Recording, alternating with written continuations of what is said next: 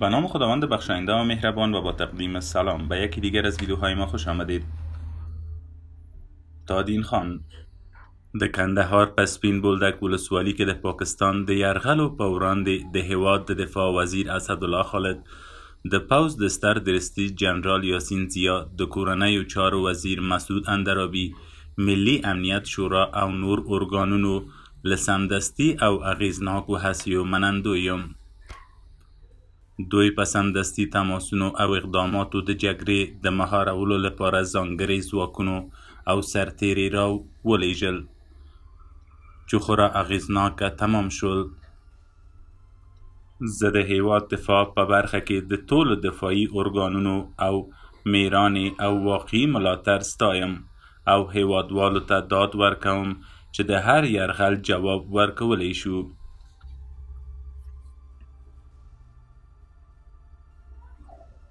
بنقل از افق. بخش از برق وارداتی ایران به هرات قطع شد. مسئولان شرکت برق در هرات می‌گویند 50 درصد برق وارداتی ایران به این ولایت در پی قطع مدار برق کاهش یافته است.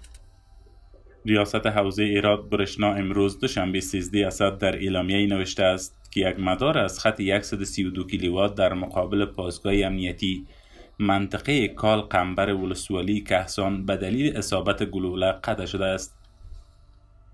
این ریاست گفته تلاش ها برای حل این چالش ادامه دارد. این در حال است که اخیرا در ولایت بغلان نیز برق وارداتی ازبکستان به افغانستان بر اثر درگیری قطع شده بود.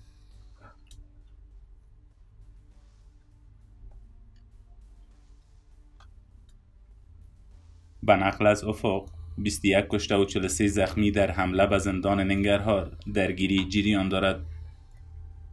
سخنگوی والی ننگرهار می‌گوید که شمار تلفات حمله به زندان ننگرهار به 21 کشته و 43 زخمی رسیده است. وی می افزاید که تمامی قربانیان غیر نظامی هستند.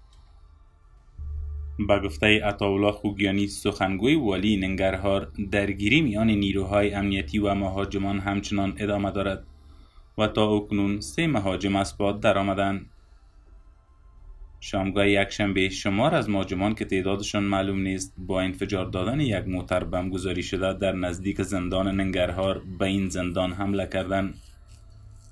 همزمان گزارش شده که با ادامه درگیری میان نیروهای امنیتی و مهاجمان در داخل زندان شمار از زندانها موفق به فرار شده اما دوباره بازداشت شدند. گفته شده که در این زندان نزدیک به 300 عضو داعش زندانی هستند. طالبان دست داشتن در این حمله را رد کرده و گزارش شده که گروه داعش مسئولیت آن را بر عهده گرفته است. این در حالی است که دولت بارها شکست داعش در ننگرهار را اعلام کرده است.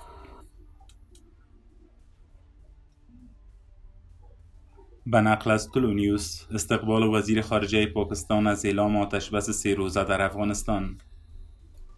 آقای قریشی می‌گوید که با رهایی زندانیان پس از آتش بس اید فضایی به وجود خواهد آمد که گفتگوهای میان افغانان آغاز شوند.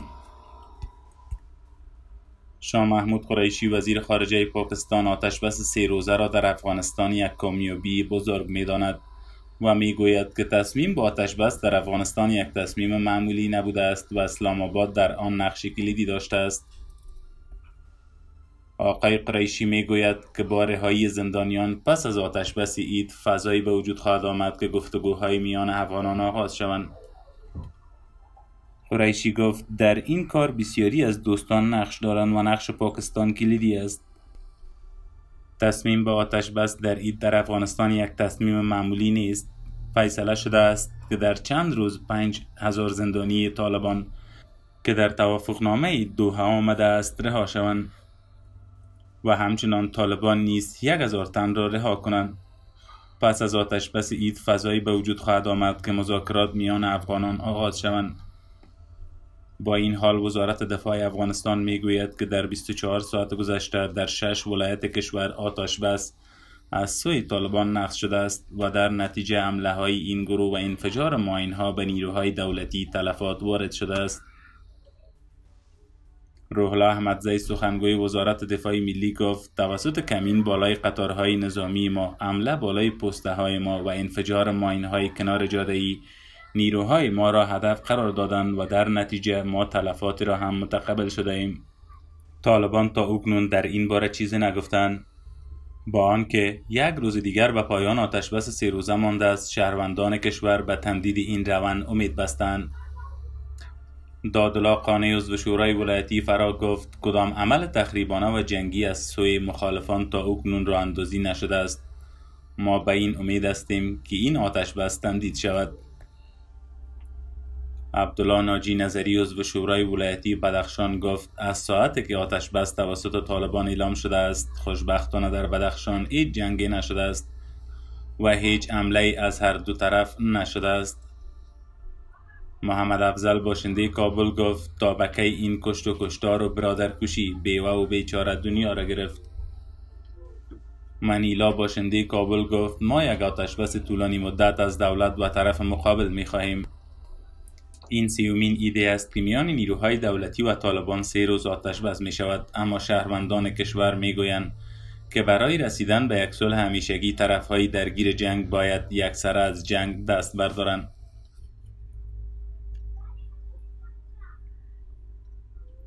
به نقل از افق. حملات راکتی پاکستان هیئت دولتی به قندهار رفت. شورای امنیت ملی اعلام کرده است که یک هیئت بلند رتبه دولتی بر ریاست معاون این شورا برای بررسی همه جانبه حملات راکتی نظامیان پاکستانی به ولسوالی سپین بولدک به ولایت قندهار اعزام شده است.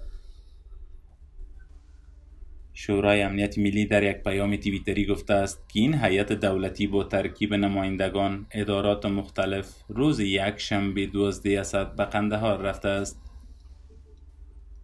نظامیان پاکستان روز پنجشنبه نوی حسد بر بخشهایی از ولسوالی سپین بولدک قندهار حملات راکتی انجام دادند. به گفته مقام های محلی در این حملات 15 غیر نظامی از جمله یک کودک کشته و 80 غیر نظامی دیگر زخمی شدند. به دنبال این حملات ارتش افغانستان در حالت آماده باش قرار گرفت. دولت افغانستان هم این عملات نظامیان پاکستانی را با شدیدترین الفاظ محکوم کردند. شورای امنیت ملی در یک پیام توییتری گفته است که این هیئت دولتی با ترکیب نمایندگان ادارات مختلف روز یکشنبه 12 اسد به قندهار رفته است. نظامیان پاکستانی چند پیش به بخشهایی از ولایت کنر نیز حملات راکتی انجام داده بودند.